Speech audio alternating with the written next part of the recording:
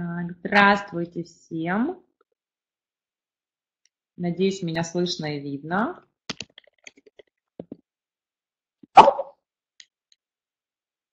Меня зовут Мария. Сейчас я переуточню у специально обученных людей, все ли хорошо технически. И тогда начну вам рассказывать. Все, чудесно. Мне сказали, все хорошо.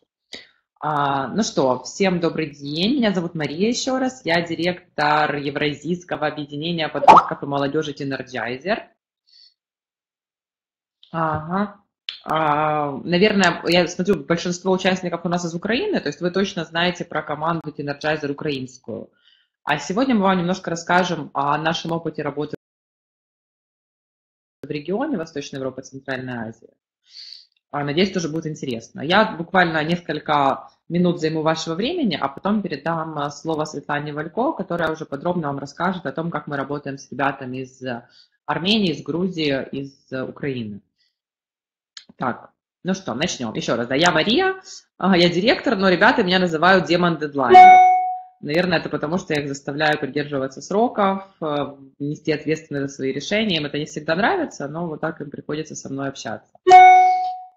Так, Teenergizer. Я вам сильно много рассказывать не буду. Уверена, что в Украине Teenergizer знает, э, про Teenergizer знают и так многие в, общем, в общих чертах, да, или подробно. Это как бы, если говорить коротко и по сути, да, то это э, организация, это инициатива, созданная подростками для подростков. То есть движущей силой Teenergizer а являются подростки, решения принимают подростки, реализацией очень большей части тех проектов, которые занимаются подростки, а мы взрослые, в частности, вот я демон дедлайнов, им только чуть-чуть стараюсь помогать. А, конечно, я думаю, что многие знают, что Teenergizer э, зародился в Киеве, да, вот маленький Teenergizer, он живет в Украине.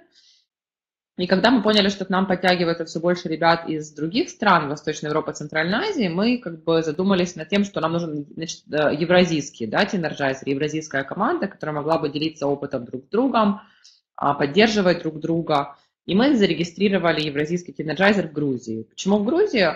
Не только потому, что я здесь живу, да, потому что в Грузии очень легкое законодательство с точки зрения а, а, а, работы, с точки зрения финансовых операций, да, с точки зрения юридических вопросов. И сейчас мы охватываем Россию, Украину, Грузию и пытаемся начать работать в Армении. То есть пока у нас как бы, есть такие четыре активные страны в которых мы ведем нашу деятельность. У нас есть общая инициатива, так, которые как бы мы э, стараемся делать э, на уровне да, э, региона. Мы проводим, допустим, вебинары тоже обучающие, которые могут подключаться ребята из разных стран. Или ребята проводят друг для друга вебинары. Допустим, там украинская команда более опытная делится опытом, какими-то навыками с ребятами из других команд. Да? Мы а, стараемся проводить стади-туры, привозим а, ребят изучать опыт друг друга из страны в страну. На какие-то глобальные мероприятия, допустим, в Украине национальный форум подростков, да, который проходил месяц назад, мы туда привезли несколько представителей Грузии и представителей из Казахстана, кстати, тоже, чтобы ребята могли как бы увидеть, что они не одиноки, да, они а, как бы, что и, и их э, много в разных странах э, Восточной Европы, Центральной Азии. Если говорить о том, каких ребят мы объединяем, изначально, конечно, Teenergizer, он закрутился вокруг темы ВИЧ-СПИДа, да, то есть ВИЧ-позитивные ребята, подростки, хотели иметь безопасную среду, в которой они могли бы общаться, и создали вот движение Teenergizer. Но со временем мы поняли, что а, фокусироваться только на теме ВИЧ это очень сложно. И плюс, как бы мы, получается, сами да, стигматизируем, выделяем какую-то определенную группу. И тогда мы начали добавлять в команду очень много ребят, которые не имеют отношения к теме ВИЧ, да, там не живут с ВИЧ или вообще ничего не знают. И тогда всем стало проще, потому что ребята сейчас спокойно заявляют, что у нас в команде есть ВИЧ-позитивные, но не все, и кто мы вам даже говорить не будем. Это помогает как бы без проблем выкладывать фотографии ребятам, которые живут с ВИЧ, чувствовать себя комфортнее, как бы, и работать все вместе. А в других странах региона, в частности в Грузии, да, ситуация немножко другая. Здесь эпидемия не так сильно распространена, как в Украине. И во всей стране всего лишь там чуть больше 100 деток, которые живут с ВИЧ. Это и дети, и подростки, там до 18 лет. Но, к сожалению, здесь о статусе своем практически никто не знает из детей. Родители очень боятся говорить. Всего вот из этих 105 или 106 деток о своем статусе знает всего лишь один. И он живет в какой-то там высокогорной деревне и особо там не готов э, вовлекаться в инициативы. Поэтому как бы в Грузии мы э, заручились поддержкой. Команда Energizer в Грузии являются наши партнеры, организация Мир Толерантности, которая имеет классный, уникальный и замечательный опыт по проведению а, лагерей, которые фокусируются на толерантном отношении, да, на понимании друг друга, на принятии друг друга. А, вот. Это наша команда в Санкт-Петербурге и в Казани, а это наша команда любимая в Грузии, которая вот занимается а, один из самых успешных их опытов – это проведение э, детских подростковых лагерей. Но про них вам подробнее расскажет Светлана Валько, как и про другую деятельность, которую мы осуществляем с подростками, с молодыми людьми на территории Грузии. Света, пол твой.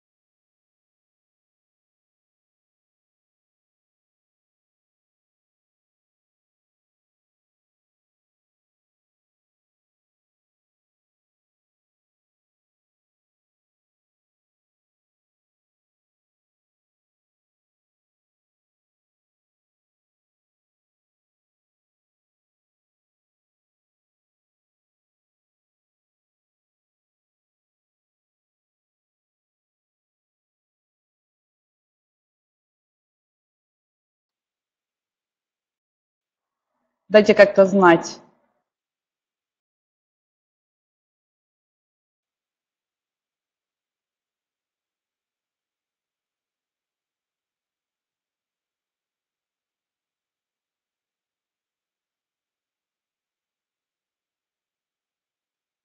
Супер, спасибо, Настя.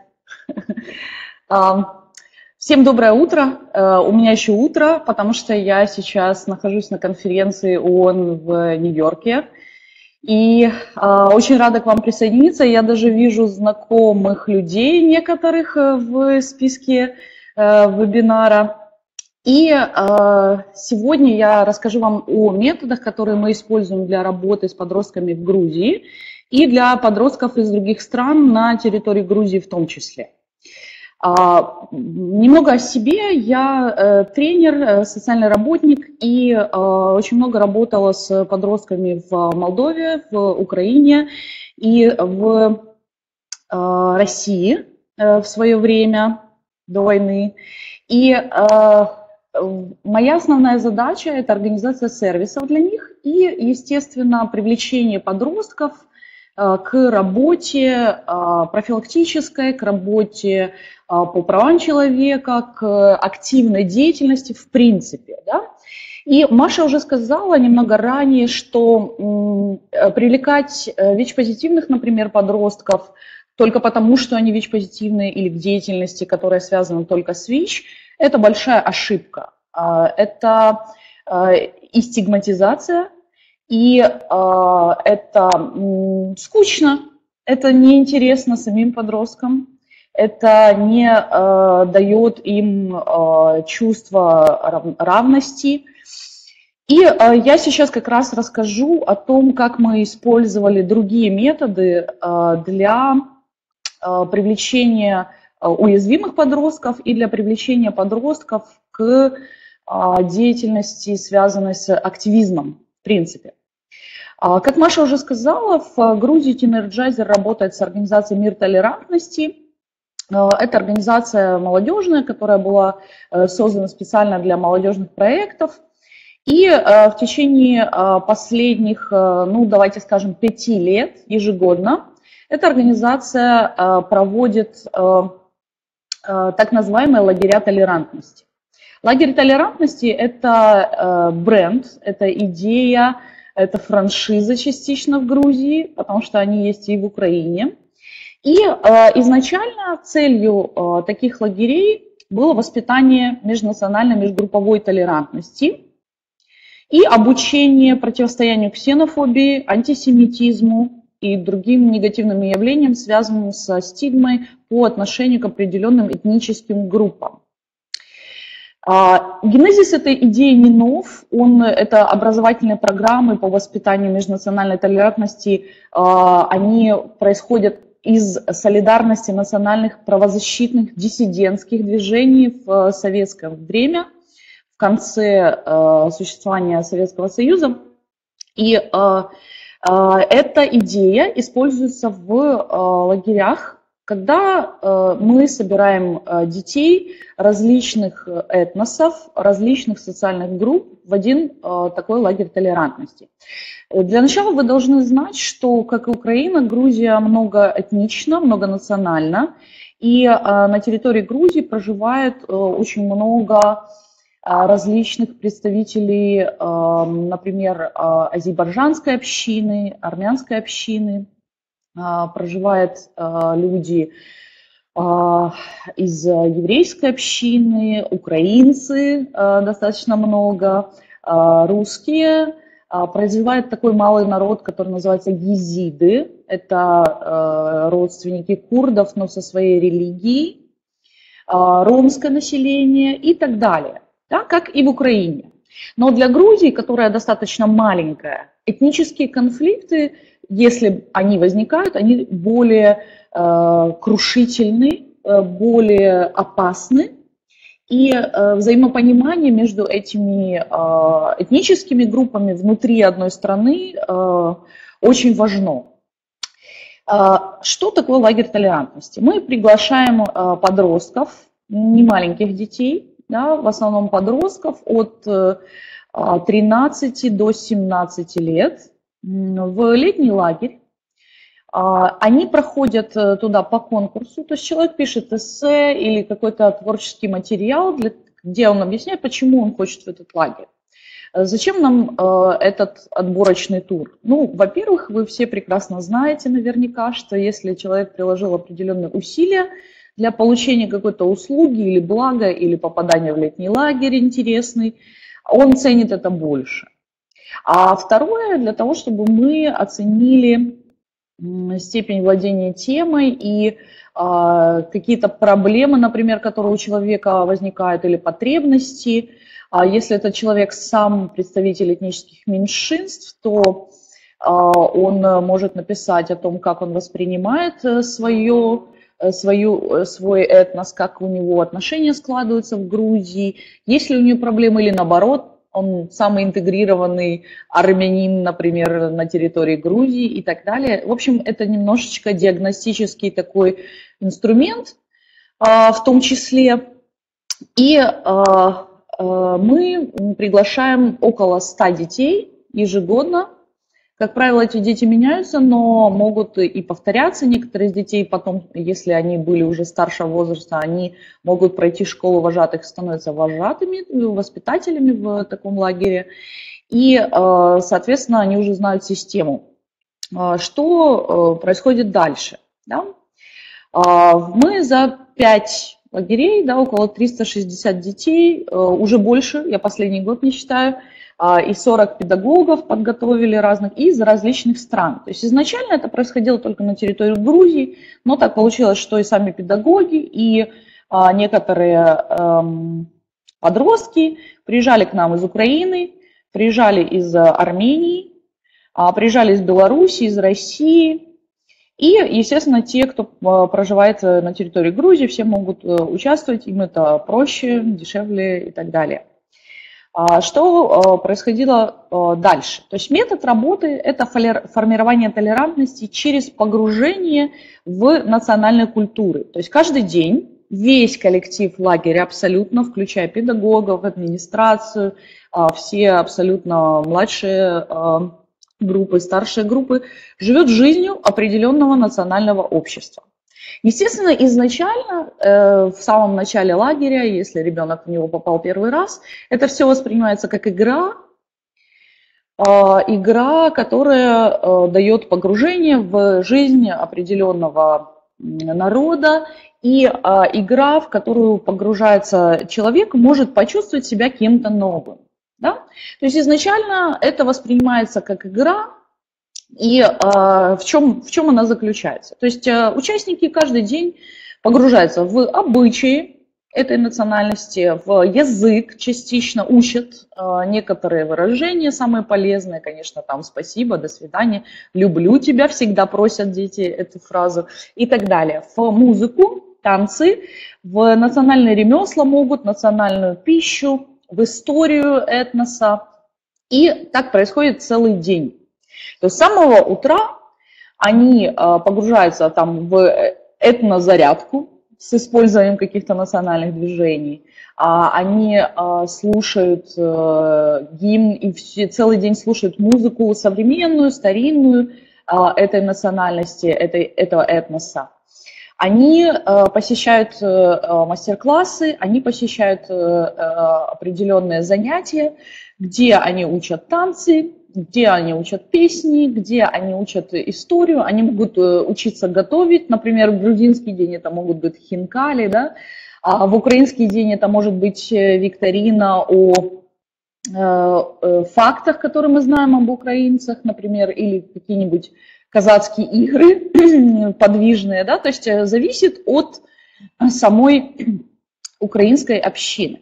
Да, очень важно отметить, что Каждый национальный день готовит сама национальная община при помощи педагогов, естественно.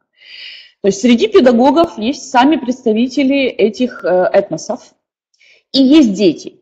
И они вместе с детьми готовят э, каждые обязательные э, элементы, готовят реквизит, готовят то, что бы они хотели видеть в свой национальный день. То есть дети активно участвуют в э, организации этого этнического дня. Естественно, у нас есть э, хореограф, у нас есть вокалист, которые а, готовят все национальные дни. Да, то есть наш вокалист, например, он э, благодаря этим песням знает очень много песен на языках других культур, а хореограф знает очень много национальных танцев и выбирает под группу, каждый год старается менять там, и так далее, но все остальное – все остальные мастер-классы практически готовятся а, общиной и детьми, и а, педагогами. Да? То есть идем дальше.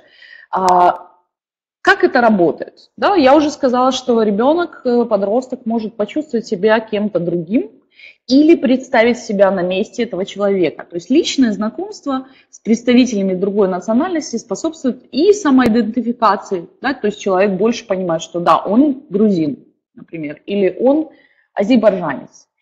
И персонализация ощущений. То есть вот э, разговариваю с э, армянской общиной, и небо на голову не рухнуло, да, они обычные ребята, помогает преодолеть имеющиеся стереотипы восприятия другого народа, чуть позже об этом расскажу детальнее, снизить уровень безразличия, да, то есть, ну вот есть какие-то там меньшинства, меня это не касается, да, здесь это касается каждого. Снизить уровень агрессивности, это очень важный для нас э, фактор. А, наладить дружеские отношения, конечно, между представителями разных этносов и так далее. Э, уменьшить страх, это тоже важная, важный показатель, и чуть позже я на примере объясню. Э, чуть позже, прямо сейчас. А, смотрите, наверное, вы знаете, например, о том, что между азербайджанцами, между странами Азербайджан и Армения есть конфликт. Конфликт старинный, конфликт 30-летний, конфликт, связанный с а, Нагорным Карабахом. То есть а, как это выглядит в мире? В мире это выглядит, что азербайджанцы и армяне не общаются между собой, а во взрослом мире, если мы говорим не про детей, а даже на уровне государства, например, в Азербайджане, а, посещение Армении может нести за собой последствия, например, встречу с спецслужбами там, и так далее. То есть на уровне народа, на уровне государственном этот конфликт поощряется. Да, то есть в семьях может быть такое, что семьи ребенка может, могут говорить ему, что вот э, армяне плохие, или э, они наши враги и так далее, другая э, разжигание розни. Что происходит в Грузии? В Грузии между собой эти этносы в принципе не конфликтуют. Да, потому что, во-первых, они, конечно же, граждане Грузии с равными правами, возможностями, а во-вторых, они э, проживают на территории, им, в принципе, нечего здесь делить, но на уровне менталитета, на уровне отношения семьи, отношение к друг другу может быть негативным. Что происходит во время, а, во время лагеря, например? Да? Во время лагеря или клуба толерантности, о котором мы будем далее говорить, а, происходит то, что в армянский день азербайджанцы становятся немножечко армянами, участвуют в, а, во всех э, мероприятиях, которые готовит армянская община, учат армянские слова, танцуют армянские танцы, слушают какие-то легенды, армянские. И то же самое происходит в азербайджанский день. Вот здесь на фото вы видите сверху это азербайджанская община начинает свой день, а, поет свой гимн, поднимает свой флаг. И внизу, а, если вы посмотрите, все абсолютно девочки на этой фотографии приехали из а, Армении. И только один малыш, мальчик, он местный армянин, грузинский армянин. Да? То есть э, это не просто люди, которые проживают на территории одной страны, но и далее мы начали приглашать людей из другой страны. И э, очень важным для нас результатом на примере этих двух этносов мы можем назвать то, что когда дети уезжают из лагеря, пережив э, столько национальных дней. То есть они побыли немножечко евреями, немножечко украинцами, немножечко азербайджанцами, немножко грузинами, немножко езидами. У нас есть День культур, когда малые этносы мы рассматриваем. Они абсолютно меняют отношение к друг другу, к другим нациям. Я даже скажу больше. А, происходит э, следующее. Происходит э, Первое, происходит понимание, что на самом деле все этносы одинаковые. Да, у них есть своя культура, у них есть своя музыка, но у них она есть. То есть э, каждый этнос имеет свою музыку, каждый этнос имеет свой язык, каждый этнос имеет а, свои традиции, и это их уравнивает в какой-то степени. Да? То есть, ну, все этносы как этносы. Второе, побывав каким-то определенным этносом, дети э, понимают, что ничего э, какого-то предосудительного, криминального или вражеского в самой культуре, в самих людях нет. У нас даже были несколько э, кейсов, когда дети, в которых, в семьях которых э, есть вот эта национальная вражда, они оказывались в довольно сложной ситуации. То есть э, ребенок приезжает, возвращается в семью, которой культивируется, например, ненависть к азербайджанцам, ну или неприязнь. Да, не столько ненависть, сколько неприязнь. У родителей был какой-то печальный опыт взаимодействия, и ребенок, у него возникает определенный диссонанс восприятий, то есть он сам ничего криминального не видит, ничего плохого не видит, врагами их не считает, но э, получается, что в семье отношение другое, и его позиция начинает расходиться с позицией семьи. Если мы видим а, такой диссонанс, что он беспокоит ребенка, то с ним а, дополнительно работает психолог, с ним дополнительно работают педагоги, которые, у которых в группе он и другие, если это нужно. Да? И а, сам ребенок, сам подросток готовит себе стратегию. Стратегию, как он вернется, да, и что он будет делать. Будет ли он убеждать, например, а, своих родителей, что их взгляды устарели. Да? Если ребенок настроен решительно, и эта ненависть не очень сильная, это просто неприязнь, он может пробовать а, внести изменения, в том числе восприятие своей семьи. Если ребенок опасается это делать, если он видит, что это э, немного будет ему трудно сделать, да, или у него ну, не хватит ресурсов, или ненависть слишком сильна, он может выбрать для себя другую позицию. Он может выбрать для себя позицию, что позиция моего отца не совпадает с моей, и это нормально. Это тоже допустимая позиция, и мы тоже вместе с э, подростком проговариваем стратегию, как он будет реализовывать это принятие, что вот позиция отца, окей, я ее принимаю, но моя другая. Да, нужно ли ему ее отстаивать или просто иметь? Или отстаивать, но в каком кругу? Да, фактически мы а, проговариваем с человеком, с подростком, как он будет бороться со стереотипами самостоятельно, когда он уедет из этого прекрасного окружения, э, безопасного окружения, где никто, где не разрешается никого обижать, да, где любые э, высказывания стереотипного характера обсуждаются, разбираются на кусочки, на элементы, для того, чтобы эти стереотипы не давлели над, а, ни над кем. Да?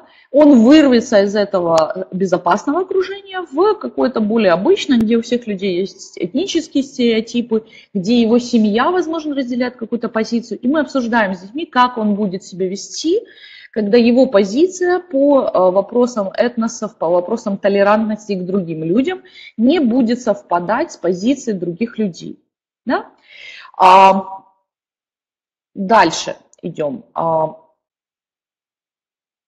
оно медленно загружается. Да? Вот э, некоторые фотографии. А, что произошло в течение нескольких лет, когда мы делали этих лагеря, когда мы делали различные э, проекты о толерантности, да, естественно, что мы вышли на уровень разговора о толерантности в более широком смысле, чем этнический. Получается, что точка входа у нас этническая толерантность, но э, когда ты запускаешь в себе процессы а, толерантности вообще, да, то это не может не влиять на твое отношение а, просто к уязвимым группам или к людям, которые отличаются чем-либо от тебя. Да? И так э, мы начали работать в том числе с другими а, вопросами, с другими уязвимыми группами, с другими признаками, да, то есть сначала мы начали делать дни культур. Дни культур – это когда мы а, либо берем какие-то интересные традиции из других этносов, например, вы здесь видите вот а, девочка в индийском костюме, да, и индийские обсыпания красками – это традиционная э, забава, как бы традиционный праздник, и детям очень нравится, они узнают, что есть такая вот прикольная традиция у индусов. И мы также сюда включаем малые народности, которые не имеют своей родины. Например, езиды. Езиды – это малая народность, которая пришла из Ирака в Грузию. В Грузии они достаточно многочисленны, в России, в Германии их очень много, в Сирии. И а, давным-давно они э, пришли в Грузию массово, в Армению массово пришли. А, грузины очень хорошо знают о езидах. Езиды отличаются и от курдов, и от других иранцев, и от грузинов, тем, что у них своя религия езидизм. И э, своя религия очень сильно влияет на эксклюзию, эксклюзию, потому что они очень объединенная группа, которым, в принципе, по традиции даже запрещено, например, жениться на неезидах. Да? И дети, сами езидские дети, и вместе с другими подростками, они обсуждают традиции, насколько они важны, а, а что они бы хотели поменять, например, и почему э, малая группа езиды так э, дружны, так э, привержены традициям. Ну, в частности, например, потому что у них нет своей страны. Да? То есть мы начали обсуждать более маленькие группы этнические, и впоследствии мы начали поднимать и другие вопросы. Несколько слов о инструментах, которые работают да, если мы говорим, раскладываем а, лагерь на более мелкие инструменты, да, которые соцработник может использовать, которые психолог может использовать. Первое, мы были в шоке, что танцы – это интерес ребенка любого возраста. Как бы ребенок ни говорил, я не люблю танцы, я не хочу, я мальчик, я не хочу танцевать, через какое-то время практически все требуют танцы, танцуют танцы, придумывают танцы, потому что движение – это жизнь. Если вы наблюдали за маленькими детьми, совершенно маленькими, там один годик, вы видите, что они э, не стесняются танцевать никогда. Когда они слышат что-то, они двигаются, потому что это естественно. Тоже, этот же метод, например, использовался в таком известнейшем проекте, как э, э Dance for Life, Танцуй ради жизни. Это профилактический проект, в котором очень много стран в мире участвовало, когда с помощью танцевальной, с помощью других инструментов подростки вовлекались в профилактику ВИЧ. Я работала в таком проекте в э, Молдове, и это был самый успешный подростковый проект, потому что больше подростков ничего не привлекало, ничего не объединяло, так как танцы. В наших лагерях это тоже работает. Да? То есть помните о таком интересном инструменте, который э, привлекает, который вызывает э, бурю э, позитивных гормонов, и через него можно работать с другими более тяжелыми вопросами. Мы начали делать психологические кружки, то есть когда психолог не просто работает с конкретной группой или одной ребенком, а, скажем так, раскрывать секреты, секреты мастерства. Это, естественно, не псевдопсихология, не журнал, но дети могут задавать свои вопросы, психолог рассказывает все, что может. Да, делать с ними определенные упражнения, и он сам выбирает, они сами выбирают тему, например, уверенность в себе или сопротивление окружающему влиянию, или работа с э, родительскими установками, то, что дети захотят, то они там и делают, скажем так. А, большой находкой является ответственность общины, когда и взрослые, и дети готовят вместе, и у них есть равное право голоса в этот момент. А, то же самое, например, происходит в Teenergizer е. Э, подростки сами предлагают что-то, и а, если с остальными участниками это резонирует, да, то есть э, это подходит всем, то это делают. Да? Они сами выбирают свою активность и темы, на которые они хотят э, готовиться. Прикемп, то есть специальная подготовка э, по вопросам толерантности педагогов, если они не участвовали в лагере, но очень хотят, и уже у них готовые материалы, есть э, свои техники, они могут участвовать в прикемпе, на котором э, рассказывается, например, о педагогических методах, которые, используются, которые желательно использовать во время лагеря. Позднее, когда мы, я сейчас буду об этом говорить, когда мы начали э, использовать в э, нашем, в наших лагерях не только этнические группы, но мы начали приглашать подростков а, ВИЧ-позитивных а, подростков из малообеспеченных семей, подростков-беженцев. А, мы использовали прикемп в том числе для того, чтобы педагоги больше узнали о проблемах, которые, которые встречаются этим подросткам. Да, например, о ВИЧ-инфекции. Да, если кто-то из педагогов об этом не знал, им давалось об этом знать на прикемпе. Постоянная супервизия самих детей. То есть если психолог видит, что у ребенка возникают определенные проблемы, он старается его выдернуть на э, разговор. Переключение фокуса со стереотипа, например, о евреях. Да, вы знаете, что стереотипы о евреях, они очень сильны. Мы знаем очень все очень много шуток, евреи сами шутят о себе, а, и немножко это стереотипно, о их жадности, например, или еще как-то. Мы переключаем стереотип на процесс. Да, то есть Окей, с утра я был полон стереотипов о евреях, но потом я начал танцевать как еврей, потом я начал петь как еврей, потом я начал э, участвовать в мини э, походе Моисея на квесте, да, а потом я начал э, шутки, еврейский юмор, да, мастер-класс может быть по еврейскому юмору специфичному.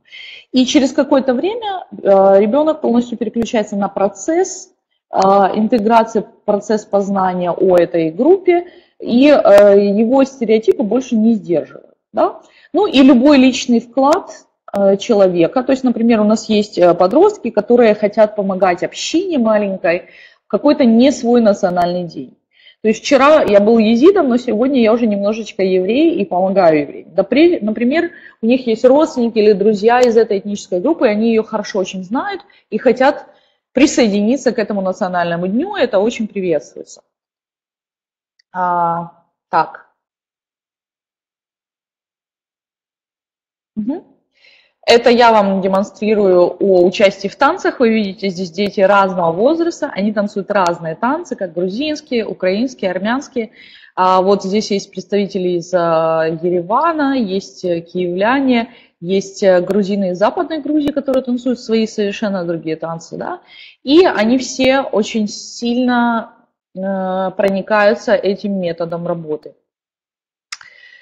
А, итак, э, несколько слов о интеграции подростков уязвимых групп в нашу деятельность.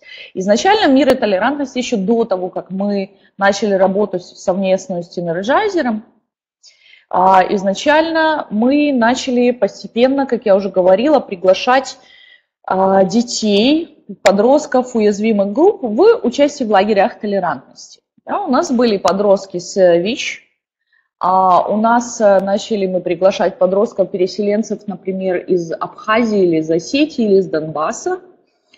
А, люди, которые, дети, которые, семьи которых убежали от войны и стали а, беженцами внутри своей собственной страны, например. А, мы начали приглашать подростков из малообеспеченных семей, и они участвовали на общих основаниях в клубах толерантности, потому что а, естественно, у каждого из них есть своя, свой этнос, и они участвовали в общих общинах. Но а, важно, что мы начали смещать фокус проблемы. Маша уже об этом немножечко говорила с утра. То есть а, фактически для многих подростков был это способ побыть, так сказать, нормальным. Да? То есть они участвовали в лагере не как ВИЧ-позитивные дети, не как дети-переселенцы не как бедные дети, которым нечего надеть. Да? Они участвовали как все, как э, грузины, как украинцы, как э, евреи. Они участвовали в чем-то, и для них это был момент э, новой самоидентификации. Например, что мы обнаружили в ВИЧ-позитивных детях? То, что их совершеннейше достало участвовать в лагерях для ВИЧ-позитивных детей. Потому что оказывается, что ВИЧ не объединяет людей да, их объединяют какие-то другие идентичности, да, то, что я девочка, или то, что я украинка, или то, что я э, люблю танцы, или то, что у меня есть интересы и таланты какие-то, да, это их объединяет намного больше, чем их какой-либо статус или роль, которая навязывается им обществом. Да, одна вещь позитивная девочка, а когда поучаствовала в этом лагере, она приехала в совершеннейшем шоке, потому что она целых 10 дней вообще не думала о ВИЧ. Да? Кроме моментов принятия терапии, за которыми следил педагог, старался помогать в этом, она вообще не думала о ВИЧ, никто о нем не разговаривал. Да? Никто не обсуждал судьбу ВИЧ-позитивных детей. То есть для нее был шок, что она э, действительно не декларативно обычный человек, а по-настоящему обычный, потому что есть много интересов, в которых она может э, поссориться с кем-то на тему песни, а не на тему ВИЧ, понимаете? То есть это очень сильно меняет сознание самого ребенка, которого стигматизируют в его общине, например. И это в том числе меняет сознание даже педагогов, потому что не все из них были знакомы с ВИЧ-позитивными детьми до этого, например. Да? И оказывается, они тоже очень совершенно обычные дети с обычными потребностями, может, немножечко больше. Да?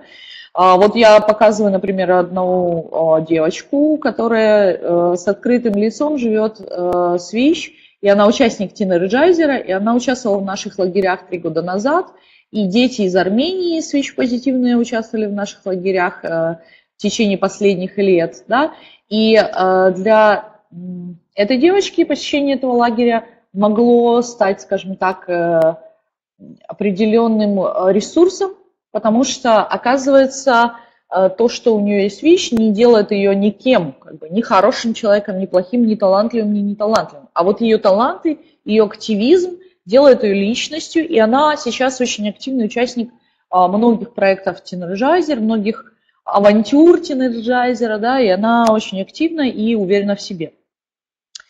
А в дальнейшем мы начали расширять нашу специализацию, мы начали также делать а, лагеря, программы для подростков-переселенцев, которые непосредственно пострадали от вооруженных конфликтов, а, например, на Донбассе, Э, да, естественно, потребность работы с такими подростками высока.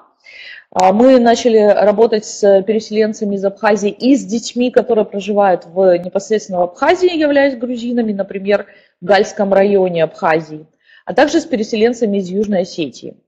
А, кроме того, что мы их приглашали на лагерь толерантности, мы начали делать для них отдельные лагеря. Почему отдельно? Потому что у них были немножко другие цели, чем у лагеря толерантности. Кроме того, что такие подростки нуждаются в а, том, чтобы не только самим быть толерантными, толерантно относиться к другим, но и защищать свои права, они также, у них есть э, другие потребности специфические, потребности в а, повышении адаптивных навыков, потребность в расширении а, своих копинг-стратегий, да, как человек справляется с проблемой. И э, у них есть потребность в принятии а, особенностей их, и мы экспериментально соединили переселенцев из разных регионов. Да? Мы хотели и раскрыть их творческий потенциал, создать возможность для диалога. То есть мы ни в коем случае не поднимали отдельно тему того, что они потеряли свои дома, где они выросли, а, но мы создавали условия, в которых эти переселенцы из разных регионов делились своим опытом самостоятельно тем, которым они хотели. Да, мы считали, что это будет полезно, и так и получилось. Они учились навыкам успешной коммуникации, мирного разрешения конфликта, постановки достижения целей. И, естественно, самым главным э, задачей лагеря было развитие навыков адаптации с использованием тех подходов, которые бы не были травматичными для ребенка а, и не связанными с местью, агрессией и вообще с фактом переселенчества.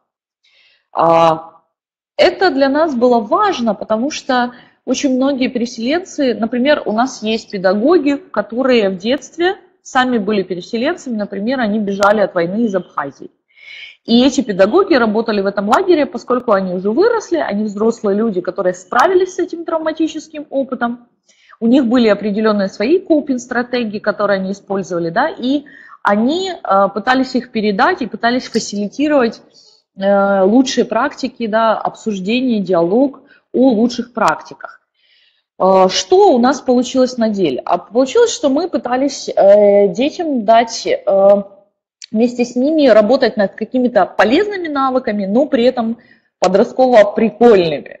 Да? Например, мы учились создавать видеоблоги, что очень популярно, интересно и, в принципе, полезно для любого подростка. Да? То есть такой микронавык, который поможет адаптироваться, например, с э, современными технологиями. Да? А мы учили работе в команде, потому что быть э, психом-одиночкой для переселенца губительно. Мы э, говорили о копинг-стратегиях, но в очень лайтовой версии, поскольку каждый из, каждая из общин э, в данном случае, они делились своими копинг-стратегиями. А как, например, это выглядело на практике? На практике дети из Донбасса, например, они обнаружили, что у них очень много ресурсов, в отличие от абхазских детей. Например, они знают свои права, они знают, что им надо проверить для своей безопасности, они знают, э, что они равноправные граждане э, Украины, несмотря на то, что они потеряли свой дом в Донецке и Луганске, например. Да?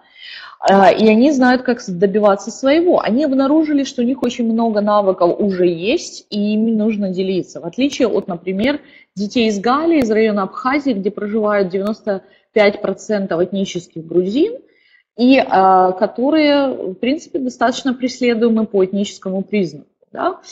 И внезапно обнаружилось, что а, Физические навыки адаптации, которые мы с помощью походов в горы а, реализовали, с помощью навыков выживания, как это цинично не звучит, это на самом деле был очень хороший действенный метод. И дети из Гали оказались лидерами этих навыков. Они учили всех, как выживать в лесу. Они учили всех, как прокормить себя. Они учили всех, как ориентироваться в лесу и в горах и так далее. То есть это был совершенно новый опыт для э, донбасских детей.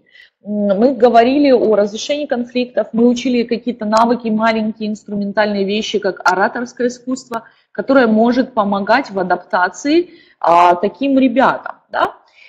И а, оказалось, что взаимодействие и влияние друг на друга а, практически а, более значимо в таких лагерях оказалось, чем влияние, например, тренера или влияние педагога. Да? То есть э, А, через какое-то время дети переселенцы очень недоверчивы, насколько вы знаете.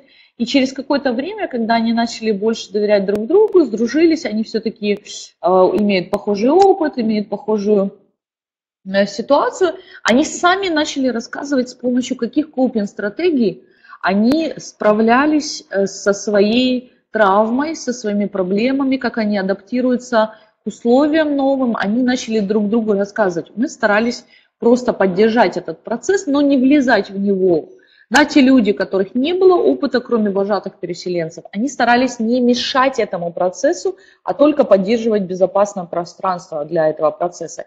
И эта стратегия дала свои результаты, потому что а, ребята действительно намного лучше рассказывали о копинг-стратегиях, не зная о том, что они рассказывают о копинг-стратегиях, если вы понимаете, о чем я. То есть они рассказывали, как они справлялись с адаптацией на новом месте, они рассказывали, какие у них есть э, специальные трюки а, для того, чтобы чувствовать себя лучше в новой школе, например, там, и так далее. И при этом они не знали, что они делятся копинг-стратегиями. Да? Это мы, взрослые, а, испорченные образованием люди, знаем, что вот эти адаптивные механизмы называются копинг-стратегии. А, и что произошло дальше? Мы начали привлекать э, детей из разных уязвимых групп совершенно разным активностям. Да? То есть мы начали миксовать эти группы, абсолютно не выбирая какой-то признак, что сегодня мы работаем с группой а, армян или детей из, из клуба толерантности, завтра мы работаем с ВИЧ-позитивными, послезавтра мы работаем с переселенцами, мы начали их просто смешивать. Да, мы начали их смешивать, Например, у нас э, есть такой метод работы, как клуб толерантности, регулярный дискуссионно-созидательный клуб с участием всех команд организации. То есть, например, раз в неделю или раз в две недели в Тбилиси, те, кто могут приехать в Тбилиси, а, или те, кто могут присоединиться онлайн, мы с ними, собственно, а, работали а, по разным темам. Например, это могут быть темы принципы демократии, это может быть разговор о противодействии домашнему насилию, может быть э, разговор о том, как создавать анимацию на разные темы трепещущие, может быть Международный день за отмену рабства и разговор о том, да, как важно эти проблемы переваривать, как важно не быть насильником самому. А мы говорим о доступе к лечению тех подростков, у которых есть проблемы с э, препаратами. Мы говорим, например, о о правах женщин в исламе, и это сами дети попросили эту тему, да, потому что она для них непонятна, интересна, и они хотят не иметь стереотипов на эту, насчет э, женщин в исламе, например. Да. Мы говорим о ответственном отношении к водным ресурсам, беженцам, к миграции и множество других тем. Да. Как правило, они запрашиваются самими ребятами, или э, ведущие, разные ведущие меняются этого клуба, э, ведущие сами, например, приглашают каких-то гостей с определенным опытом, да, и этот микс э, фактически помогает ребятам найти свои собственные интересы и найти, в чем они талантливы или в чем они хотят больше реализовываться, какая тема им ближе – а те ребята, которые стесняются поднять какую-то тему, рано или поздно она сама всплывет. Да? Вы понимаете, например, что домашнее насилие, если кто-то является его э, жертвой или свидетелем, что не менее травматично, э, дети мало запрашивают эту тему, но если она поднимается, то и обсуждение приносит некое облегчение и навыки для э, таких ребят. И что, например, э, получилось сделать? Получилось, что мы начали сотрудничать с командой Teenergizer. А мы Каким образом? Ну, как я уже говорила, да, изначально мы приглашали ВИЧ-позитивных детей из Украины, в том числе в наши лагеря. Потом э, они предложили несколько совместных проектов. Потом мы начали реализовать проекты Teenergizer а в Грузии с помощью подростков, которые были участниками наших клубов толерантности, участниками наших лагерей. И это не обязательно были ВИЧ-позитивные подростки. Да? То есть мы начали привлекать э, тех, кто заинтересован в этой теме. Но костяком стали дети, которые уже прошли школы толерантности, дети, которые хотели продолжать узнавать больше об этом, хотели участвовать активно в противодействии дискриминации, противодействии стереотипам. Да, то есть эта тема, она такая немножко над ВИЧ-инфекцией, например. Да? А, что делать? Делали, делали всяческие дни Земли, экопроекты, а, дни борьбы со СПИДом, а мы говорили о правах человека, День прав человека, мы чистили мусор, мы участвовали в флешмобах, мы готовили образовательные туры по Грузии для украинской команды Тинержайзер. А мы участвовали в различных активностях демократических, например, молодежь и выборы. Да? То есть мы э, начали смешивать команды разных проектов, мы начали смешивать различные темы, идя как бы за потребностями – Э, жизни растущего человека. То есть э, а поскольку они ищут себя, поскольку они хотят иметь свое мнение по многим вопросам, а многие из них хотят изменить мир, мы их поддерживаем в этом, а, смешивая команды разных проектов, приглашая ребят из разных проектов в разные а, инициативы, да, например, если вы знаете проект Teenergizer а HIV э, Quest, а, это проект, когда подростки самостоятельно а, ходили по местам, где тестируется на ВИЧ, и проверяли, насколько это место friendly к подростку, да, насколько это место э, доброжелательное, насколько там безопасно, насколько там анонимно, насколько там а, подходящие, и потом писали свои рецензии на эти места.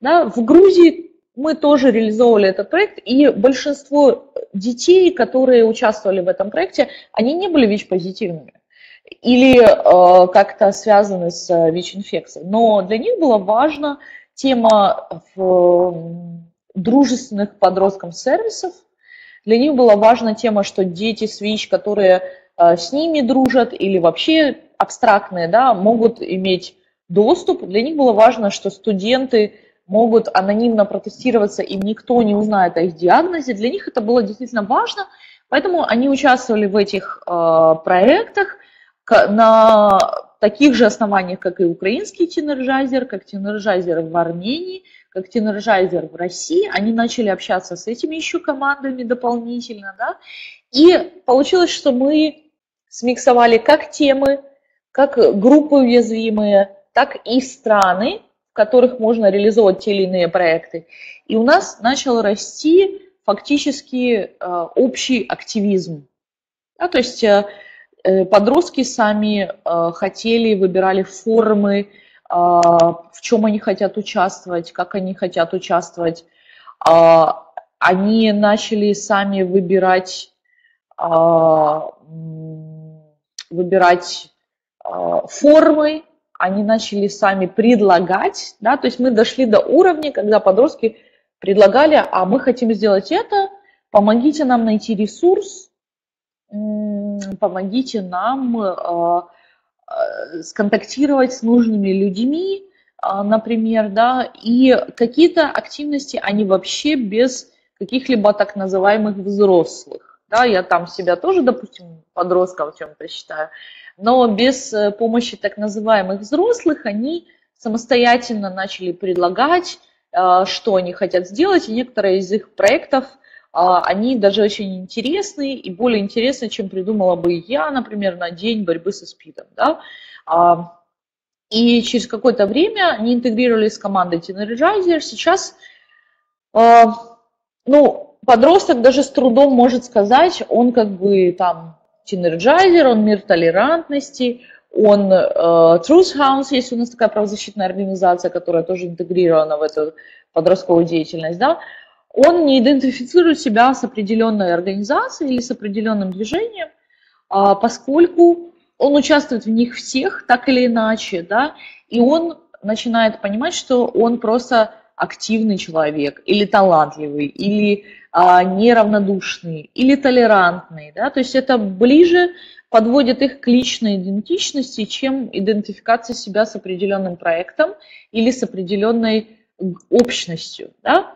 Естественно, что у каждого из э, растущего организма подростка есть потребность принадлежности к определенной группе, да, И эта потребность реализуется как раз за счет самоидентификации себя с какой-то организацией да, или с каким-то проектом, как Teenergizer, например, да, есть бренды, есть принадлежность и так далее, но если у ребенка высока эта потребность, он может ее спокойно реализовать через а, продукты этого проекта или через продукты организации, да. А, ну, например, человек, у которого высокая идентичность с группой а, мира толерантности, он э, больше шансов, что он станет э, педагогом в следующих лагерях, когда вырастет, да, он захочет пройти обучение. И у нас э, большинство педагогов как раз это бывшие подростки, а большинство людей, которые работают диджеями в лагере, это бывшие подростки, которые участвовали ранее в наших проектах. Да, как педагог человек продолжает участвовать в других проектах э, уже не в лагерях, но, например, в клубах, тинерджайзерских активностях, в активностях по демократии, демократизации, да, и так далее. То есть, э, ну, в конце концов, да, мы сейчас вышли на тот э, уровень, когда мы, смешивая разные проекты, получаем э, более устойчивую мотивацию к активизму у подростков и более устойчивое участие, постоянное участие, и при этом нет такого, что происходит самостигматизация, как у многих ВИЧ-позитивных подростков, а, долго участвующих в проекте, где все к ним а, добры или они получают услуги только потому, что они ВИЧ-позитивные дети. Мы стараемся этого избежать, именно для этого мы смешиваем наших подростков. В принципе, Наверное, на этом я закончу и с радостью отвечу на ваши вопросы, если у вас они возникли, или расскажу какие-то примеры из э, нашей деятельности, из нашей жизни, а, которые вам были бы интересны. Да, но поскольку вебинар это все-таки а, практически двустороннее общение, да, есть возможность запрашивать что-то, то я предлагаю ей воспользоваться, поскольку я все-таки больше люблю интерактивное обучение, интерактивные методы а, для того, чтобы э, мы с вами были на равных, как а, тренеры, как соцработники, как э, заинтересованные в подростках люди. Есть ли вопросы, ребят? Настя, есть вопрос?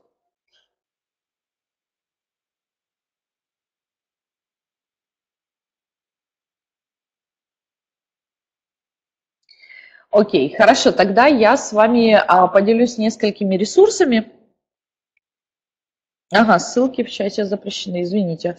А, несколько ресурсов я а, предлагаю вам а, найти подробнее а, материалы на наших Facebook ресурсах. Допустим, в Facebook есть страничка «Мир толерантности»,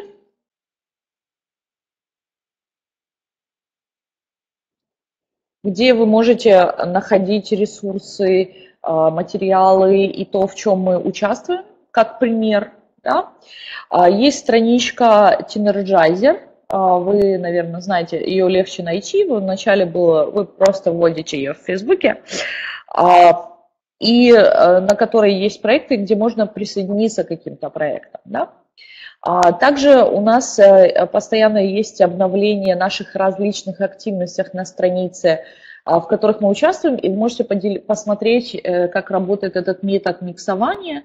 А, толерантность означает толерантность ко всем, не только к этносам, да, или там, например, активизм, это значит, у тебя есть неравнодушная жизненная позиция к тому или другому а, вопросу, и Подросток означает активный человек, который познает мир, а не человек с кучей а, проблем и комплексов, которые а, вас э, убивают, да, и вам есть с кем поговорить. Хорошо, на этом тогда мы будем заканчивать, если вопросов нет. А, мне было интересно с вами побыть, хотя вы не задали мне вопрос, негодяи. Вот. Э, и интересно поделиться своим опытом. Мы будем рады э, сотрудничеству мы будем рады, если вы захотите в том числе участвовать в наших э, лагерях, или вы захотите с нами какие-то совместные активности провести, мы будем этому рады. Мы будем рады, если ваши дети из уязвимых групп или просто украинские подростки захотят принять участие в наших проектах. И мы будем рады, если наш опыт был вам полезен. В конце немножечко попробую показать вам немножечко Нью-Йорка. И, как вы видите, здесь везде Рождество. Поэтому я хочу вас поздравить с наступающими праздниками и напомнить о том, что очень важно отдыхать столько же, сколько и работать. Не забывайте о том, что борьба с профессиональным выгоранием – и с усталостью это исключительно дело ваших самих утопающих. Поэтому с Новым годом, с Рождеством и э, хорошей вам, хорошего вам декабря и праздника. Счастливо!